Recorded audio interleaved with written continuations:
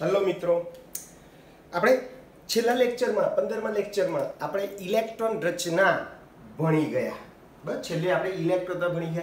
ઇલેક્ટ્રોનતા માટે ફરીથી આ રીતે તમારે one S, two S, three S, four S, five S, six S, seven S લખતા હતા. પછી અહીંયા ઉપર નીચે એક એક આંકડો છોડી દેતા હતા. ખબર છે? Two P, three P, four P, five P, six P બરાબર? ઉપર નીચે કંઈક આંકડો છોડે? પછી three D four D five D ફરીથી પાછી કંઈક આંકડો છોડી દો ઉપર નીચે. Four F, S P D, F. અને પછી આ રીતે આપણે ઉપરથી નીચે આ રીતે તીર મારતા હતા.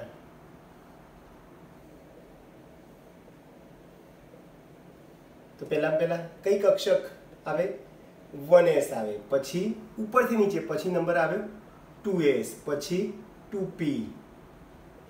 Two P three S પછી three P four S three D four P five S four D five six S આ રીતે લખતા હતા. અને તત્વનો જેટલો પરમાણુ ક્રમાંક હોય, એટલા ઇલેક્ટ્રોન આપણે ઉપર લખતા હતા. તમને એ બી ખબર છે એસ કક્ષકમાં કેટલા ઇલેક્ટ્રોનમાં બે. એટલે જ્યાં જ્યાં એસ કક્ષક છે, ત્યાં ત્યાં તમારે બે ઇલેક્ટ્રોન લખવાના. પી હોય, ત્યાં છ. ડી હોય ત્યાં દસ અને એફ કક્ષક હોય ત્યાં ચૌદ. તમને ખબર છે ને બધાને? એસ કક્ષકમાં વધુ વધુ બે ઇલેક્ટ્રોન સમાય પીમાં છ સમાય ડીમાં દસ સમાય અને એફમાં ચૌદ સમાય. હવે જેટલો પરમાણુ ક્રમાંક હોય એટલા ઇલેક્ટ્રોન લખીએ છીએ. જો હાઇડ્રોજનનો પરમાણુ ક્રમાંક કે એની ઇલેક્ટ્રોન વન એસ વન ચલો હિલિયમમાં બે, તો સરવાળો બે કરવાનો. ઉપર બે. ચલો લિથિયમ ત્રણ, તો આ બે અહીંયાથી લઈશું અને એક અહીંયાથી લઈશું. એટલે one S two two S one કોઈ પણ તમે લો. સપોઝ કે નાઇટ્રોજન લો, સાત. તો બે બે, ચાર, અને અહીંયાથી કેટલા લઈશું સાત કરવા કેટલા ખૂટ્યા ત્રણ. એટલે બે બે અને ત્રણ. એટલે one S two two S two two P three કોઈ પણ તમે લો. એલ્યુમિનિયમ લો તેર તો બે બે, ચાર, છ, દસ, બે, બાર. અને અહીંયાથી કેટલા લઈશું ભાઈ આપણે? એક. One S two two S two two P six three S two three P one ઉપર સરવાળો તેર થાય. અહીંયા ઉપર સરવાળો સાત થાય. પરમાણુ ક્રમાંક જેટલો ઉપર સરવાળો કરવાનો છે તમારે. બરાબર છેલ્લી વાર સત્તર સીએલનો પરમાણુ ક્રમાંક સત્તર. તો બે, ચાર, છ, દસ, બાર અને છ અઢાર થઈ ગયા. મારે કરવા છે સત્તર. એટલે અહીંયાથી કેટલા લઈશું? પાંચ. એટલે આમ થાય one S two two S two two P six three S two three P five તો આ રીતે તમે ઇલેક્ટ્રોન ભણી ગયા. પછી ધન આયન અને ઋણ આયનની પણ આપણે વાત કરેલી. પ્લસ માઇનસ કરવું હોય તો તમે ઉપર જેટલા પ્લસ કરો એટલા ઇલેક્ટ્રોન તમારે ઓછા કરો. સપોઝ કે સોડિયમનો અગિયાર. તો સરવાળો ઉપર અગિયાર કરો. બે, ચાર, છ, દસ, ને અહીંયાથી એક લઈશ અગિયાર. One S two two S two two P six, three S one. હું પ્લસ કરું ને, તો એટલા ઇલેક્ટ્રોન છેલ્લી કક્ષકમાંથી ઓછા કરી દેવાના. એટલે એક ઓછો કરી દીધો. એટલે થ્રી એસમાંથી આમ થ્રી એસ ઝીરો લખો. અથવા ના લખો. સપોઝ કે આ એલ છે. બોલો એલ પ્લસ થ્રી મારે કરવા છે. તો બોલો, ત્રણ ઇલેક્ટ્રોન શું થશે? દૂર કરવાના. ક્યાંથી કરશો? આ એક છેલ્લો એક અને આ બીજા બે. ટોટલ આ ત્રણ ઇલેક્ટ્રોન જતા રહે. તો ઇલેક્ટ્રોન આમ થાય one S two two S two two P six અને માઇનસ હોય તો એટલા ઉમેરવાના. સપોઝ કે આ સીએલ છે. હવે માઇનસ કરું છું તો એટલા ઉમેરવાના. ક્યાં ઉમેરવાના? છેલ્લી કક્ષામાં. One s two two s two two p six, three s two, three p ફાઈવની જગ્યાએ એક ઉમેર્યો. થ્રી પી સિક્સ. બરાબર છે? છેલ્લી વાર ફરીથી જો ઓક્સિજનનો પરમાણુ ક્રમાંક આઠ, એની ઇલેક્ટ્રોન આઠ કરો સરવાળો. બે, ચાર, અને અહીંયાથી ચાર લઈશ. એટલે આઠ થાય one s two two s two two p four. હવે ઓ માઇનસ ટુ કરું તો બે ઇલેક્ટ્રોન શું થાય? ઉમેરે ક્યાં ઉમેરવાના? છેલ્લી કક્ષામાં. એટલે ચારની જગ્યાએ શું થાય? છ. થઈ ગયું તો ઉપર પ્લસ હોય, એટલા ઇલેક્ટ્રોન તમારે છેલ્લી કક્ષકમાંથી દૂર કરવાના. અને માઇનસ હોય, તો એટલા ઇલેક્ટ્રોન છેલ્લી કક્ષામાં તમારે ઉમેરવાના. પછી સમ ઇલેક્ટ્રોન આઈસો ઇલેક્ટ્રોન પણ કીધું. સમ ઇલેક્ટ્રોન એટલે જેમાં ઇલેક્ટ્રોન સંખ્યા સરખી હોય, એને સમ ઇલેક્ટ્રોન એ સ્પીસીસ કહેવાય.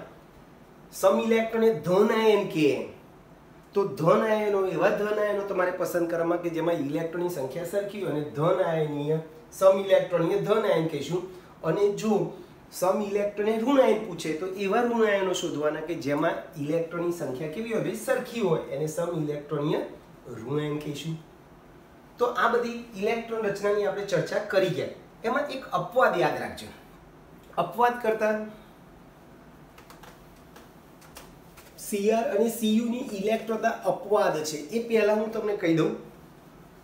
ચલો, મને કહો એસ કક્ષક ની સંખ્યા કેટલી તો કે ભાઈ એક પી કક્ષકની સંખ્યા કેટલી ત્રણ ડી કક્ષકની સંખ્યા કેટલી પાંચ એફ કક્ષકની સંખ્યા કેટલી સાત હવે જેમાં યાદ રાખજો એસમાં એક ઇલેક્ટ્રોન ભરાય અથવા બે ભરાય પીમાં ત્રણ ઇલેક્ટ્રોન ભરાય કે છ ભરાય? ડીમાં પાંચ ભરાય કે દસ ભરાય? એફમાં સાત ભરાય કે ચૌદ ભરાય? આ બધી રચનાઓ. આ બધી રચનાઓ કેવી છે ભાઈ? સ્થાયી રચનાઓ છે. આ બધી જે અર્ધાર્ધ અને અર્ધપૂર્ણ પેટાકોષની સ્થાયી રચના કહેવાય. અને આ p six d ten f ચૌદ અથવા એસ ટુ એ પૂર્ણ પેટાકોષની સ્થાયી રચનાઓ છે. ક્લિયર દોસ્તો? તો બરાબર યાદ રાખો. પી થ્રી હોય અથવા પી સિક્સ હોય. ડી ફાઇવ હોય અથવા ડી ટેન હોય, એફ સેવન હોય અથવા એફ ચૌદ હોય. આવી રચનાઓ બધી સ્થાયી રચનાઓ છે. દરેક તત્વો સ્થિરતા પ્રાપ્ત કરવા માટે પ્રયત્ન કરે. જો એક અપવાદ યાદ રાખજો. અપવાદમાં તમને એમ કે સીઆર અને સીયુની ઇલેક્ટ્રોન રચના અપવાદ છે. આપણે ઇલેક્ટ્રોન ભણી ગયા. ટૂંકમાં સીઆરની ઇલેક્ટ્રોન લખ્યું હોય સીઆરનું પરમાણુ ક્રમાંક ચોવીસ, એની ઇલેક્ટ્રોન લખ્યું તો argon complete three d ten four s one છે. બરાબર છે? અથવા તો તમને આવું બી લખાય. તમને આમ બી કારણ પૂછ્યું કે સીઆરની ઇલેક્ટ્રોનના three d nine four s two ને બદલે three d ten four s one લખાય છે. ચલો, એ જ પ્રમાણે સીયુ ની ઇલેક્ટ્રોન રચના થ્રી ડી ફોર છો? Three d nine four s two. આ three d four four s two ને બદલે અહીંયા three d nine four s two ને બદલે argon three d ten four s one લખાય છે. અહીંયા થાય છે. ચાલો. તો સીઆની ઇલેક્ટ્રોનતા આમ લખાય. સીયુની સીઆરની ઇલેક્ટ્રોન આમ લખાય. એટલે ફરીથી બોલું છું સીઆરની ઇલેક્ટ્રોનતા argon complete three d four four s ટુને બદલે argon complete three d five four s one લખીએ છીએ. અને સીયુની electron argon complete three d nine four s ટુને બદલે argon complete three d ten four s one લખાય છે. કેમ? બરાબર છે? કેમ તો સા સિમ્પલ, મેં તમને હમણાં જ કીધું. બોલો. ખરેખર ઇલેક્ટ્રોન હોવી જોઈએ થ્રી ડી ફોર હોવી જોઈએ. અહીંયા થ્રી ડી નાઇન હોવી જોઈએ. આપણે જે હમણાં શીખવાડ્યું, એ પ્રમાણે ઇલેક્ટ્રોન લખો તો પહેલાં થ્રી ડી નાઇન આવે, પછી ફોર એસ ટુ આવે. અહીંયા થ્રી ડી ફોર અને પછી ફોર એસ ટુ આવે. તો કે સાહેબ, આમ કેમ આવું થયું? તો આ વસ્તુ અહીંયા લાગુ પડે છે. બોલો ડી ફાઈવ રચના કેવી છે? સ્થાયી રચના છે? બોલો સીઆર ને ડી ફાઈવ જેવી સ્થાયી રચના પ્રાપ્ત કરવા માટે એક ઇલેક્ટ્રોન ખૂટે છે, એટલે એ શું કરશે? ફોરેસ પાસેથી એક ઇલેક્ટ્રોન અહીંયા શિફ્ટ કરી દે છે, એટલે ફોરેસ પાસેથી એક ઇલેક્ટ્રોન અહીંયા આવી જાય છે, એટલે three d five four s one થઈ જાય. અને કેવી રચના થઈ જાય? સ્થાયી રચના થઈ જાય છે.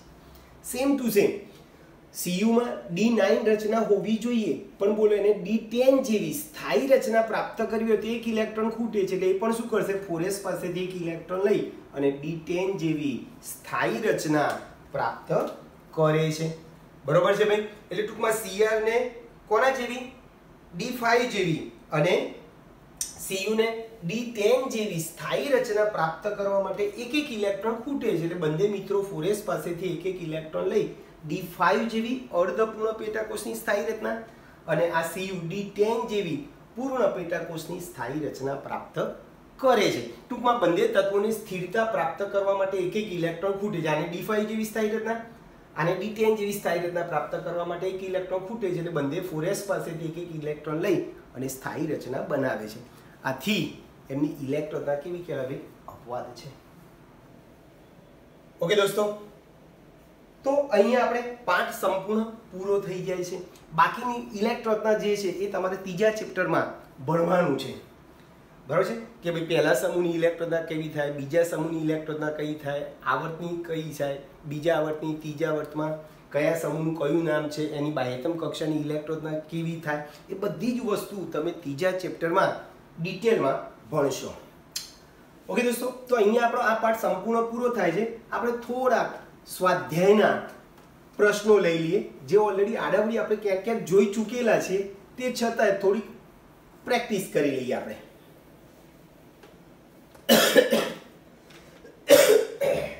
ચાલ તો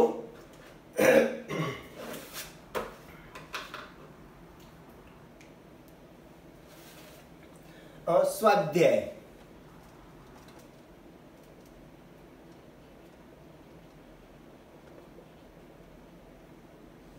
સ્વાધ્યાયના પ્રશ્નોત્તર. હું રકમ લખું છું.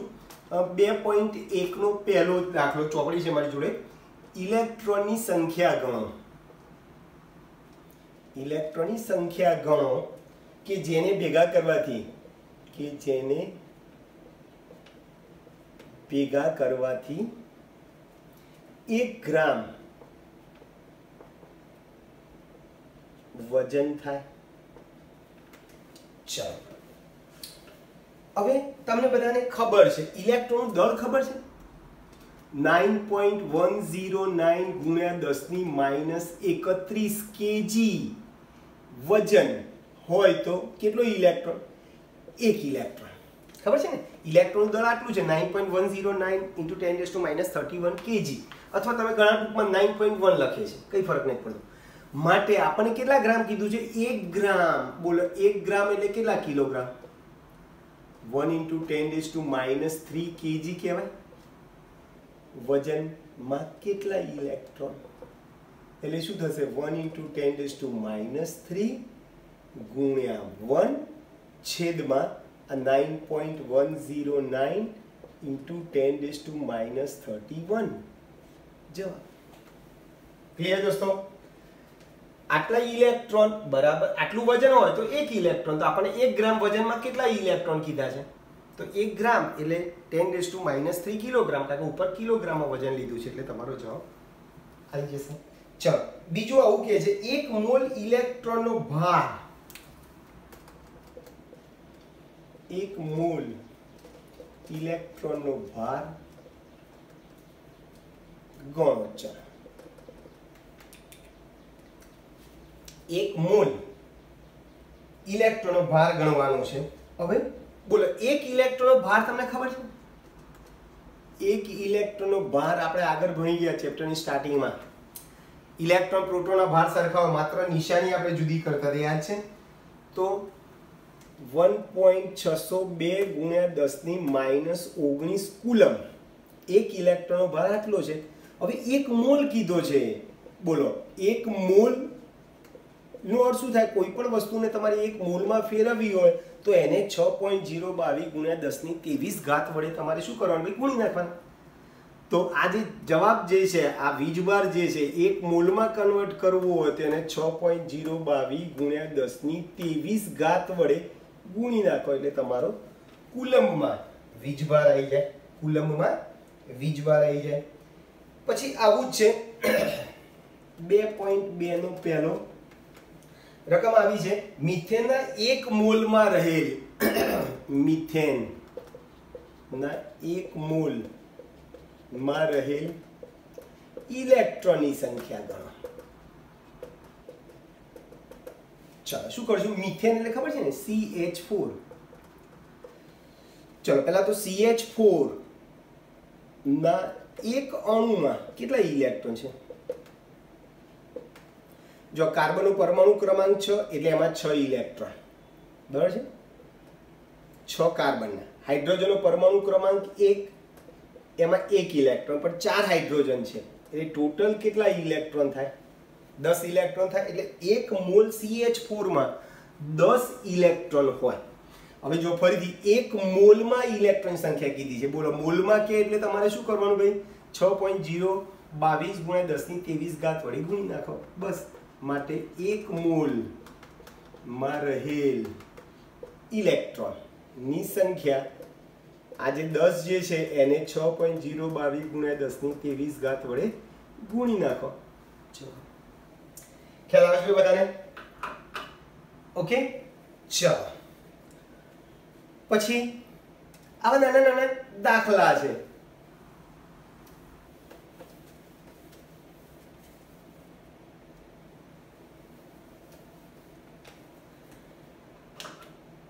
પછી બે પોઈન્ટ બે નો બીજો.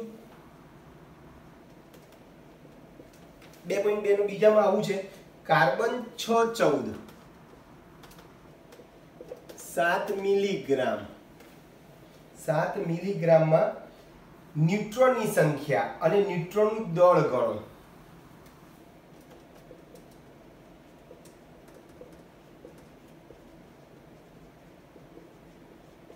અને ન્યુટ્રોન. દળ ગણો ચાલો, એક ન્યુટ્રોનનું દળ તમને આપી દીધું છે.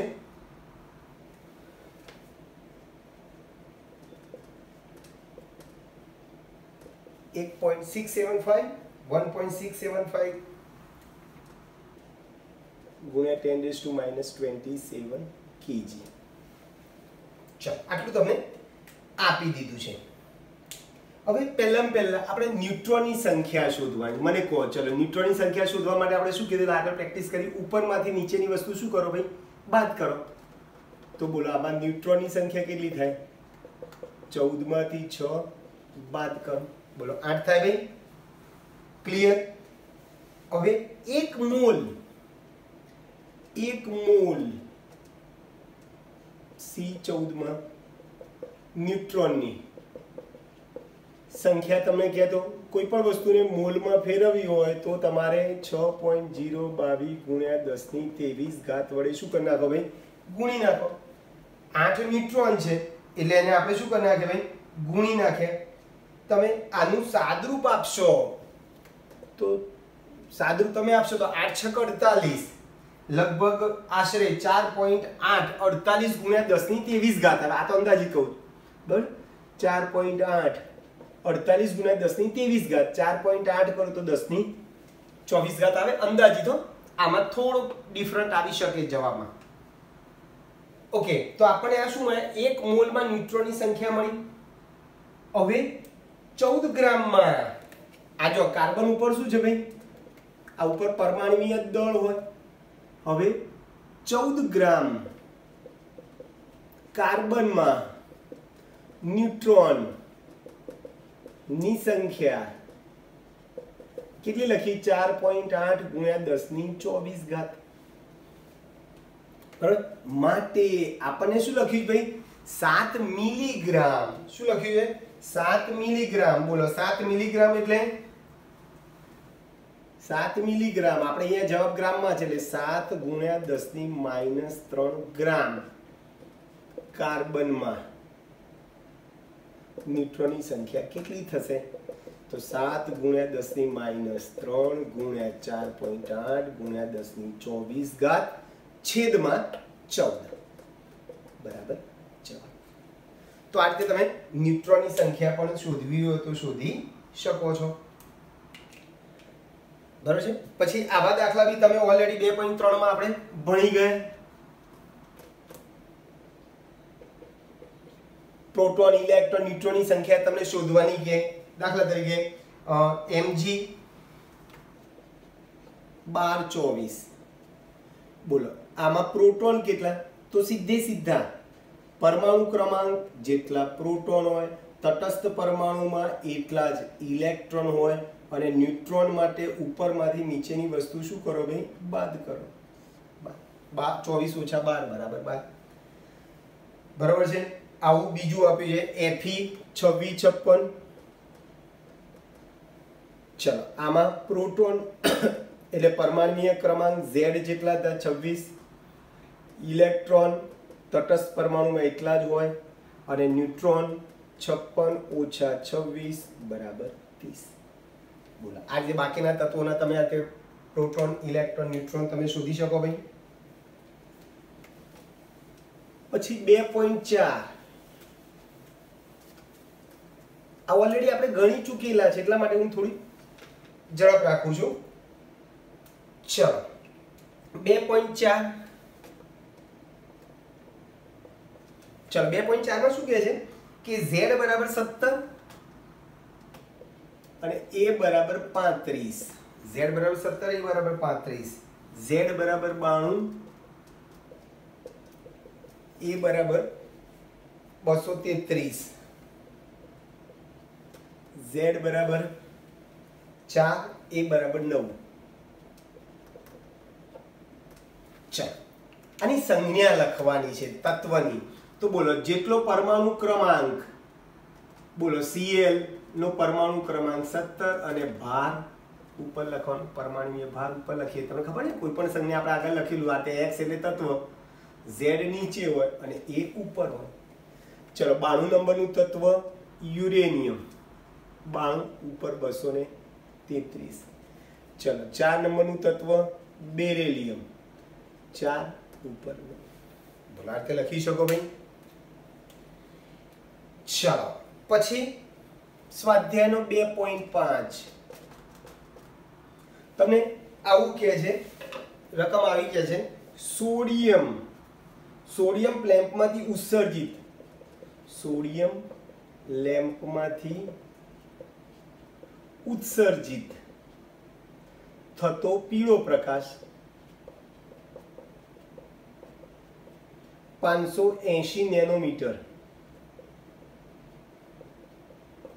તરંગ લંબાઈ ધરાવે છે. તો પીળા પ્રકાશની આવૃત્તિ. ન્યુ અને તરંગ સંખ્યા.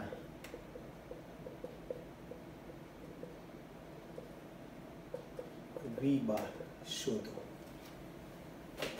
ચલો બોલો, આવૃત્તિ માટેનું સૂત્ર તમને બધાને ખબર છે? ન્યુ બરાબર સી અપોન લેમડા. સૂત્ર ખબર છે ને? ન્યુ બરાબર સી અપોન લેમડા. ચલો, સી એટલે પ્રકાશનો વેગ ત્રણ ગુણ્યા દસની આઠ લક્ષો તો શું કહેવાય ને દસ લક્ષો તો શું કહેવાય? આઠ લક્ષો તો મીટર પ્રતિ સેકન્ડ દસની આઠ ઘાત તો મીટર પ્રતિ સેકન્ડ અને દસની દસ ઘાત લક્ષો તો સેન્ટીમીટર પ્રતિ સેકન્ડ. ચલો, તરંગ લંબાઈ આપણને આપી છે પાંચસો એસી નેનોમીટર. દસની માઇનસ નવ મીટર થઈ ગયું ભાઈ. બરોબર છે? બોલો, આવૃત્તિ મળી ગઈ આ સૂત્રથી. તરંગ સંખ્યાનું સૂત્ર બી ખબર તમને? One upon lambda. તરંગ સંખ્યાનું સૂત્ર ખબર છે ને બધાને? One upon lambda. બસ. લેમડા એટલે તરંગ લંબાઈ આપી છે પાંચસો એસી નેનોમીટર ગુણ્યા દસની માઇનસ નવ મીટર. ચલો તો હવે નાના નાના દાખલા તમને પૂછાય છે. ચલો. પછી તમારે બે પોઈન્ટ છ માં બી આવું છે સ્વાધ્યાય. બે પોઈન્ટ છ. બે પોઈન્ટ છ માં હું તમને કહી દઉં. આવૃત્તિ આપી છે ત્રણ ગુણ્યા આવૃત્તિ. ત્રણ ગુણ્યા દસની પંદર હર્ઝ બોલો અથવા સેકન્ડ ઇનવર્સ બોલો. બરોબર છે? આવૃત્તિ તમને આપી છે. બરોબર છે? અને તરંગ લંબાઈ લેમડા આપી છે પોઈન્ટ પચાસ એંગસ્ટ્રોમ. પોઈન્ટ પચાસ એંગસ્ટ્રોમ. અને ફોટોની ઊર્જા શોધવી છે. ફોટોનની ઊર્જા શોધવી છે. ચાલો સાવ સિમ્પલ છે. બોલો. શું કરશું ભાઈ? ઊર્જા શોધવા માટેનું સૂત્ર શું છે? E બરાબર hc અપોન લેમડા અથવા E બરાબર h ની. બરાબર છે? તમે આ સૂત્ર વાપરો, આ સૂત્ર વાપરો. તરંગ લંબાઈ પણ આપી છે. તમે આ સૂત્ર વાપરશો તો ઈ એચ એટલે પ્લાન્ક અચળાંક ન્યુ આપ્યો છે. બોલો, આ સૂત્ર વાપરીને બી તમે કરી શકો. બરાબર? અથવા તમને તરંગ લંબાઈ આપી છે, તો તમે આ સૂત્ર વાપરો. કંઈ ફરક પડતો નથી. પણ યાદ રાખજો, તરંગ લંબાઈ એંગસ્ટ્રોમની જગ્યાએ આપણે શેમાં ફેરવીશું ભાઈ?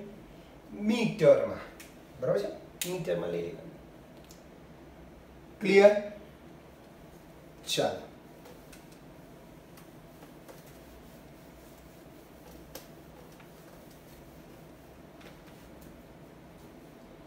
પછી આવે છે. જેનો તરંગ બે પોઈન્ટ સાત. જેનો આવર્ત સમય આવર્ત સમય બે ગુણ્યા દસની માઇનસ દસ સેકન્ડ છે. તો એની તરંગ લંબાઈ લેમડા બરોબર છે? પછી આવૃત્તિ ન્યુ અને તરંગ સંખ્યા, વી બાર. શોધો. ચલો, સાવ સિમ્પલ છે. મને પહેલા તો કહો કે ભાઈ તરંગ લંબાઈ શોધવાનું સૂત્ર શું છે? લેમડા બરાબર સી અપોન ન્યુ. છે ને? તરંગ લંબાઈ શોધવાનું સૂત્ર શું છે ભાઈ? લેમડા બરાબર સી અપોન ન્યુ. ચલો, ન્યુ તમને આપેલો છે ભાઈ?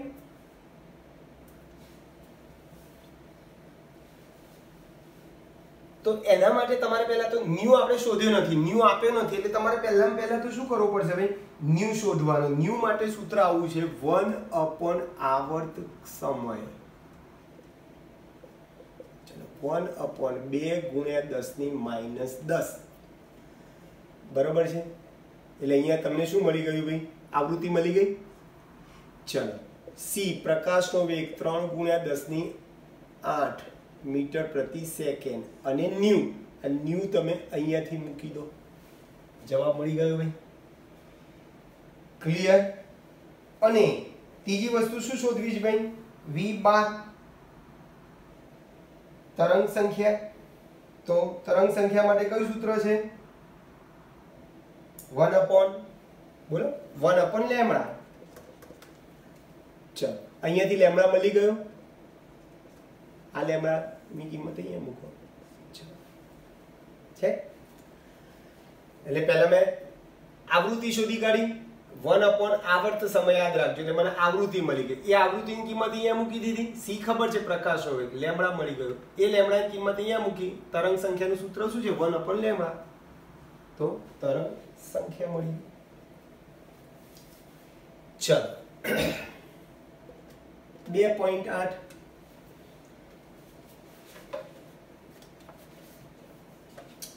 ચલો, બે પોઈન્ટ આઠ શું કહે છે ભાઈ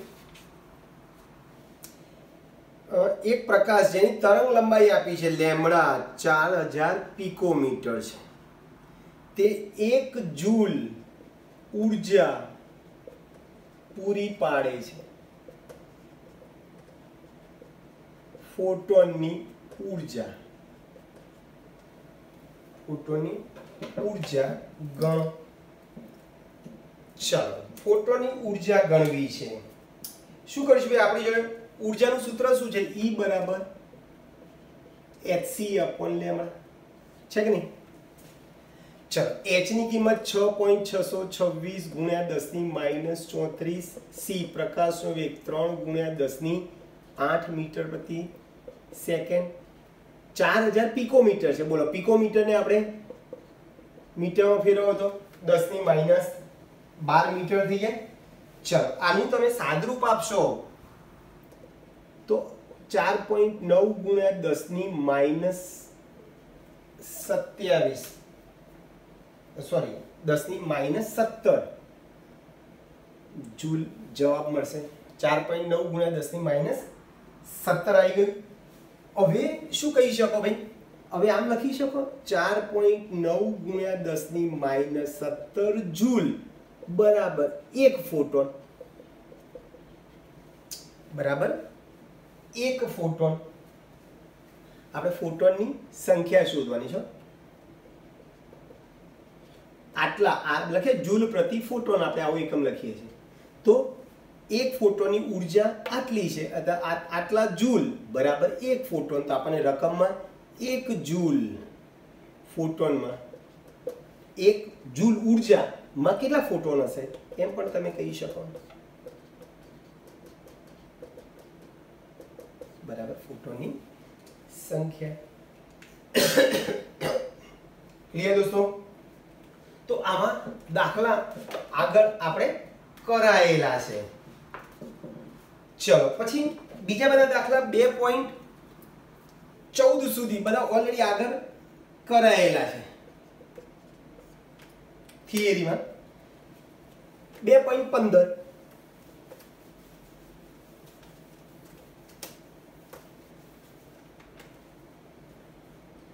ચલો, બે પોઈન્ટ પંદર શું કહે છે?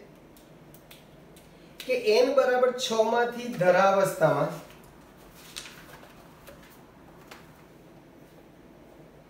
બે પોઈન્ટ પંદર. ચલો એન બરાબર છ માંથી ધરા અવસ્થામાં ઇલેક્ટ્રોન દાખલ થાય. ત્યારે ઉત્સર્જિત રેખાઓની મહત્તમ સંખ્યા શોધો. ચાલો. તો સંખ્યા શોધવાનું એક સૂત્ર યાદ રાખજો ભાઈ. N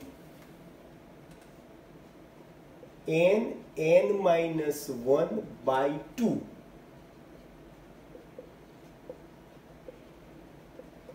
રેખાની સંખ્યા શોધવાનું સૂત્ર શું કીધું ભાઈ?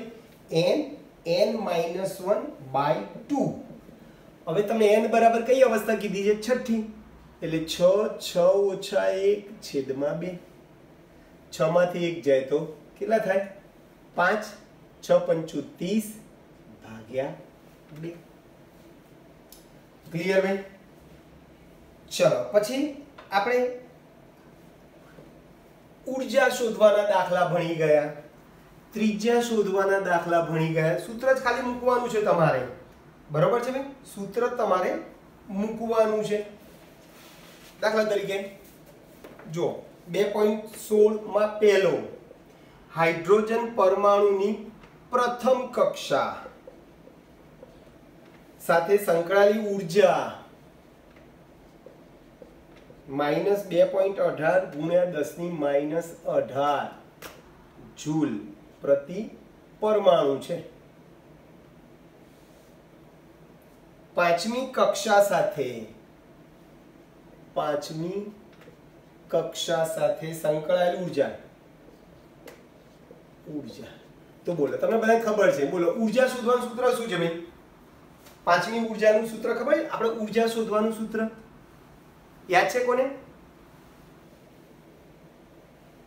માઇનસ બે પોઈન્ટ અઢાર, બે પોઈન્ટ અઢાર ગુણ્યા દસની માઇનસ અઢાર ઘાત Z square upon n square. છે સૂત્ર?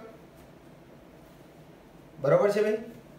Z square upon n square બસ કિંમત મૂકવાની છે તમારે. માઇનસ બે પોઈન્ટ અઢાર ગુણ્યા દસની માઇનસ અઢાર ઝેડ બોલો હાઇડ્રોજન પરમાણુ માટે ઝેડ પરમાણુ ક્રમાંક એક અને એન કઈ કક્ષા કીધી છે? પાંચમી, એટલે એન બરાબર પાંચ નો વર્ગ. જવાબ આવી ગયો તમારો. ચલો, પાંચમી કક્ષાની ત્રિજ્યા શોધવાની કહે છે તમને. પાંચમી કક્ષાની ત્રિજ્યા. બોલો, યાદ કરો, ત્રિજ્યા શોધવાનું સૂત્ર. ખબર છે ત્રિજ્યા? એંગસ્ટ્રોમાં તમે શોધી શકતા હતા. પિકોમીટરમાં, નેનોમીટરમાં બધા સૂત્રો આપણી જોડે તૈયાર હતા.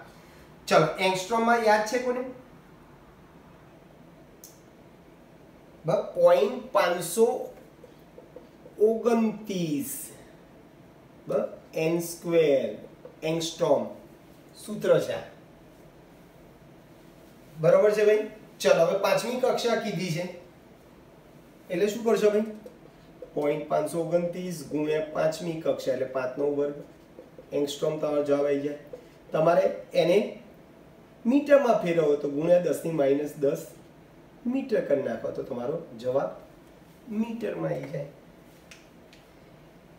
બરાબર છે દોસ્તો? તો આવા તમે દાખલા અગાઉ આપણે ઘણા બધા કરી ચૂક્યા છીએ.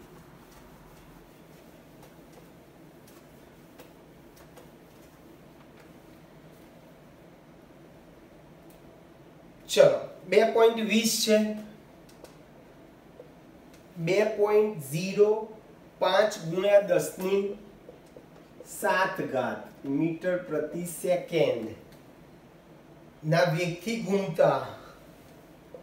ના વેગથી ઘૂમતા. કણની તરંગ લંબાઈ અથવા ઇલેક્ટ્રોનની. ઇલેક્ટ્રોનની તરંગ લંબાઈ શોધો. બોલો, તરંગ લંબાઈનું સૂત્ર શું છે? દ બ્રોગલી મુજબ. લેમડા બરાબર તરંગ લંબાઈનું સૂત્ર ખબર છે લેમડા બરાબર એચ અપોન એમવી બધી જ વસ્તુ તમને ખબર છે. બરાબર જુઓ એચ એટલે છ પોઈન્ટ છસો છવ્વીસ ગુણ્યા દસની માઇનસ ચોત્રીસ જેએસ એમ ઇલેક્ટ્રોનનું દળ, નાઇન પોઈન્ટ વન ગુણ્યા દસની માઇનસ એકત્રીસ કેજી અને વેગ તમને મીટર પ્રતિ સેકન્ડમાં જ આપેલો છે.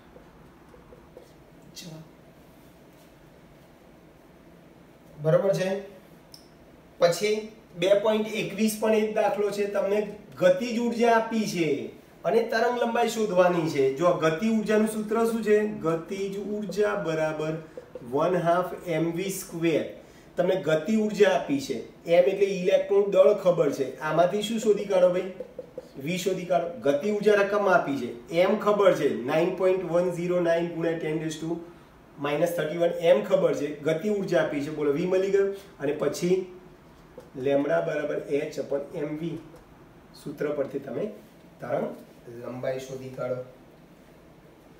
ઓકે દોસ્તો આવા ઘણા બધા દાખલા તમને આપેલા છે.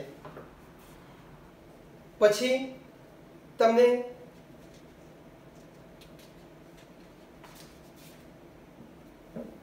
શક્તિ શોધવાના દાખલા છે. બરાબર છે? પછી દ બ્રોગલી તરંગ લંબાઈ શોધવાનો આપણે દાખલો જોયો. બરોબર? પછી તમારે હાઇઝનબર્ગના અનિશ્ચિતતાના સિદ્ધાંત મુજબ સ્થાનીય અનિશ્ચિતતા અથવા વેગની અનિશ્ચિતતા તમારે શોધવાના દાખલા બી આપણે ઓલરેડી આગળ જોઈ ચૂક્યા. પછી આવો બી દાખલો પ્રશ્ન છે. આવા અગાઉના આ બધા દાખલા જે વચ્ચેના જે દાખલા જે છોડી રહ્યો છે ઓલરેડી તમને આવડે આવડી થિયરીમાં આપણે કરી ચૂકેલા છીએ. ચલો, પછી આપણે ગઈ વખતે જોઈ ગયા કઈ કક્ષકની ઊર્જા વધારે હોય, બરાબર? તો એના માટે જો આવું છે છ પોઈન્ટ બાસઠ એન બરાબર ચાર એલ બરાબર બે એમ બરાબર માઇનસ બે એમએસ બરાબર minus one by two n બરાબર ત્રણ એલ બરાબર બે એમ બરાબર એક m s plus one by two n બરાબર ચાર એલ બરાબર એક એમ એલ બરાબર ઝીરો એમ એસ બરાબર પ્લસ વન બાય ટુ ચાર એન બરાબર ત્રણ એલ બરાબર બે એમ એલ બરાબર માઇનસ બે એમ એસ બરાબર minus one by two n બરાબર ત્રણ એલ બરાબર એક m l minus one m s plus one by two છ એન બરાબર ચાર એલ બરાબર એક એમ એલ બરાબર ઝીરો એમ એસ બરાબર પ્લસ વન બાય ટુ હવે તમને પ્રશ્ન આવો છે કે આ બધી વસ્તુ આપી છે ને આ બધી કક્ષકોને ઉર્જાના ચડતા ક્રમમાં ગોઠવો. તમને યાદ છે છેલ્લે મેં આવું લખાયેલું? કે જેનો એન વત્તા એલ વધારે, એની ઊર્જા વધારે. જેનો એન વત્તા એલ વધુ, એની ઊર્જા વધારે. ચલો. જો એન વત્તા એલ સરખો હોય તો? જેનો એન વધારે, એની ઊર્જા વધારે. આપણે લખ્યું, જેનો એન વત્તા એલ વધુ, તેની ઊર્જા વધુ. ચાલો, આ મુજબ પહેલા જોઈએ. તો બોલો એન વત્તા એલ નો સરવાળો કરો તો? એન વત્તા એલ નો સરવાળો કરો, જેમાં સૌથી વધારે થાય. તો જો આ પહેલા પહેલો થાય છે ને, ચાર અને બે છ થાય છે. એટલે ઊર્જા, કક્ષકોની ઉર્જાનો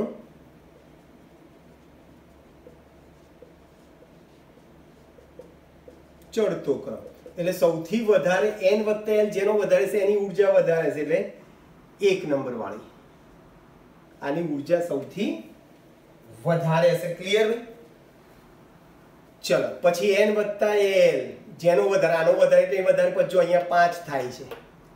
પછી અહીંયા પણ પાંચ થાય છે. અહીંયા પણ પાંચ થાય છે. હવે બીજી વસ્તુ, જો એન વત્તા એલ સમાન હોય, તો જેનો એન વધુ, તેની ઊર્જા વધુ. હવે ચાલો આપણે આ એન વત્તા એલ પાંચ થાય છે, અહીંયા પાંચ થાય છે. અહીંયા પણ પાંચ થાય છે અહીંયા પણ પાંચ થાય છે. તો જેનો એન વધારે, એની ઊર્જા વધારે, એટલે જો આ બીજામાં ત્રીજામાં અહીંયા ત્રણ ત્રણ છે. બીજામાં એન બરાબર ત્રણ છે અને ચોથામાં એન બરાબર ત્રણ છે. જ્યારે ત્રીજામાં એન બરાબર ચાર છે અને છઠ્ઠામાં એન બરાબર ચાર છે. એટલે ત્રીજા ને છઠ્ઠા ની ઊર્જા બીજા ને ચોથા કરતા વધારે. પણ બંનેની પાછી કેવી ભાઈ? સરખી છે. ચાલો. પછી એન વત્તા એનો સરવાળો પાંચ થાય જ ખરો, પણ એન ઓછો છે બીજા ને ચોથાનો. એટલે બીજે ને ચોથો. અને બાકી રહ્યો એન વત્તા એનો સરવાળો ચાર થાય છે પાંચ વાળો એટલે જેનો એન વત્તા એન વધુ, એની ઊર્જા વધુ જો એન વત્તા એલ સરખો હોય તો જેનો એન વધારે, એની ઊર્જા વધારે. તો એ પ્રમાણે તમે જાઓ તો આ ઉર્જાનું શું થઈ ગયું ભાઈ ચડતો ક્રમ થઈ ગયો. ચલો પછી તમને આવા દાખલા બી બહુ જ વાર પૂછાયેલા છે. હું એકાદ ગણાવું તમને. બરાબર જોજો.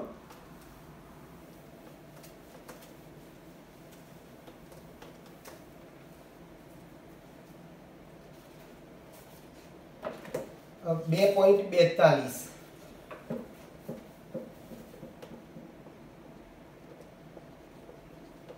દળ ક્રમાંક એક્યાસી વાળું તત્વ પ્રોટોનની સરખામણીમાં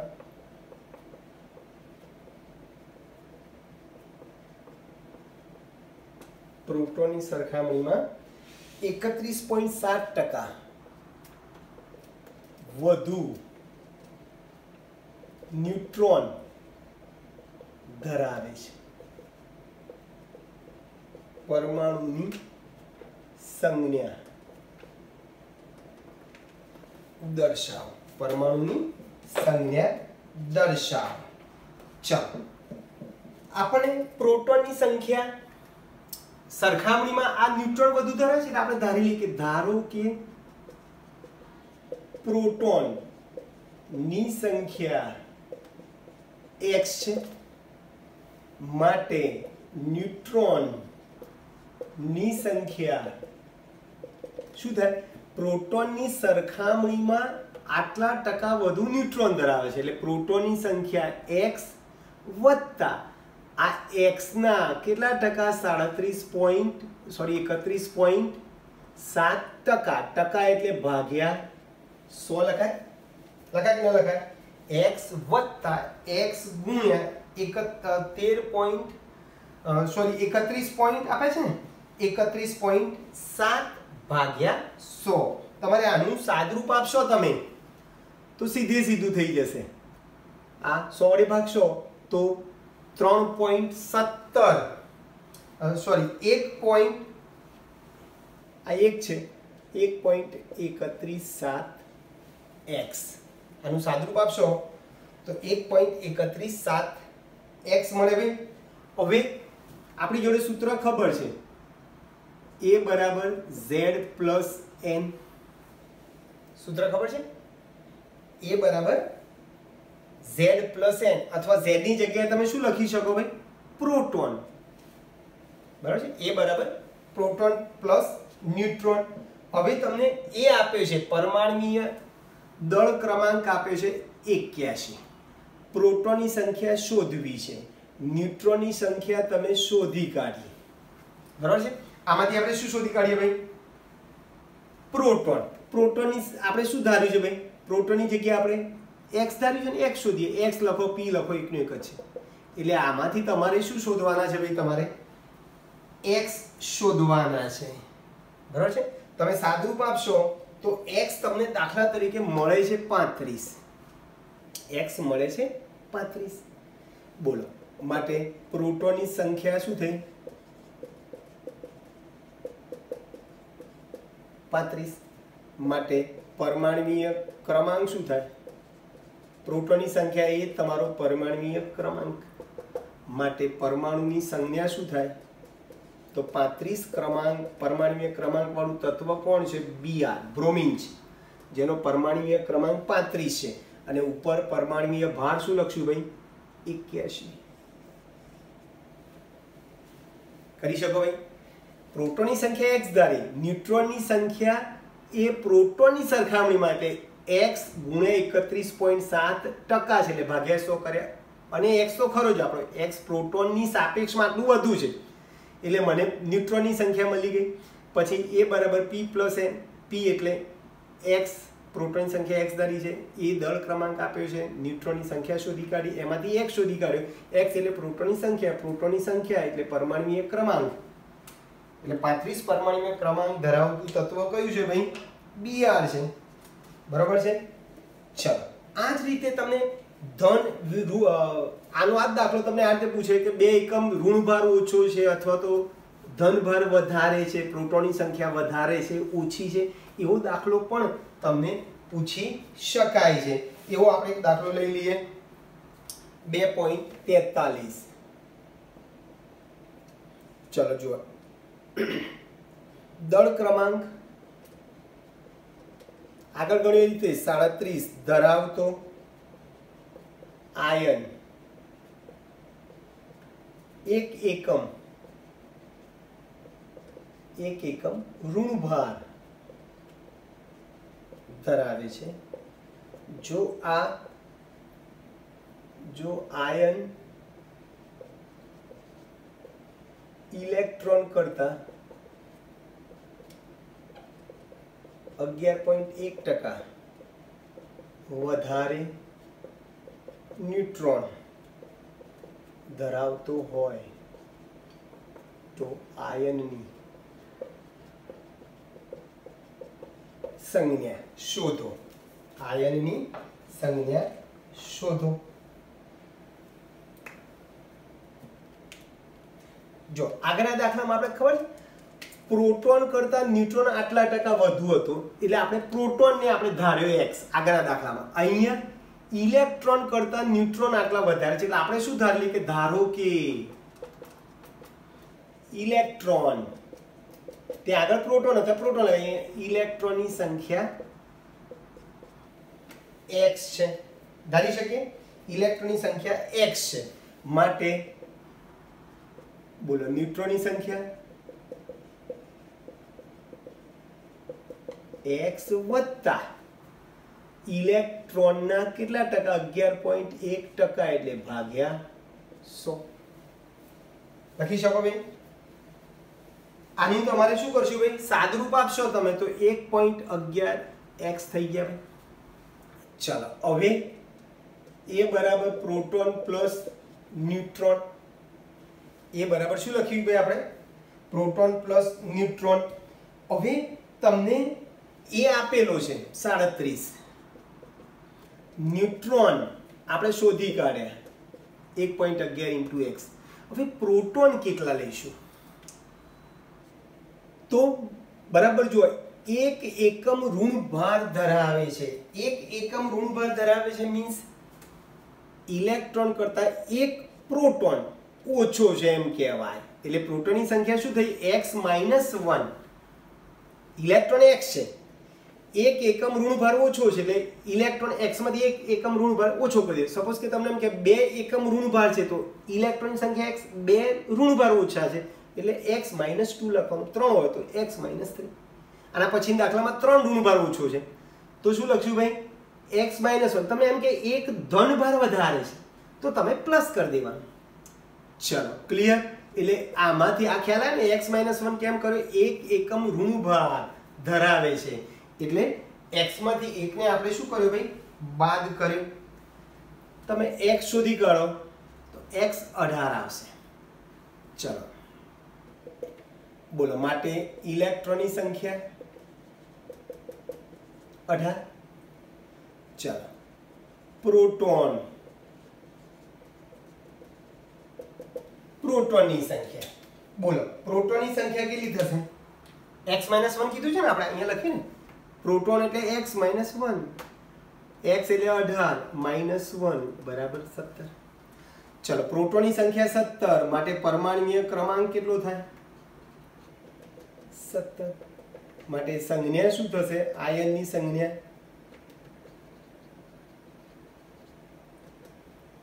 જો, સત્તર પરમાણુ ક્રમાંક વાળો છે ક્લોરીન. એનો પરમાણુય દળ ક્રમાંક છે ઉપર સાડત્રીસ અને એક ઋણ વીજભાર ધરાવે છે એટલે માઇનસ વન, માઇનસ ક્લિયર દોસ્તો? આવો જ દાખલો તમે સ્વાધ્યાયનો બે પોઈન્ટ ચુમ્બાલીસ જાતે બરાબર છે? એનો જવાબ આવશે એફી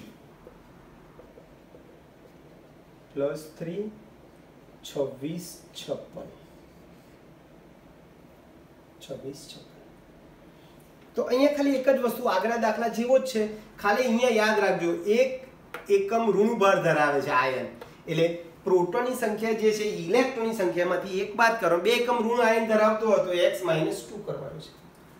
ઓકે દોસ્તો, તો અહીં સુધી આપણે રાખીએ છીએ. સ્વાધ્યાયના મોટા ભાગના પ્રશ્નો મેં તમને ઓલરેડી આજે ગણાયા. ભૂતકાળમાં જે તે થિયરીમાં આપણે ઓલરેડી ગણાયેલા છે. ઓકે દોસ્તો, તો અહીંયા આપણું આ ચેપ્ટર કમ્પ્લીટલી પૂરું થાય છે. ઓકે મળીએ. બાય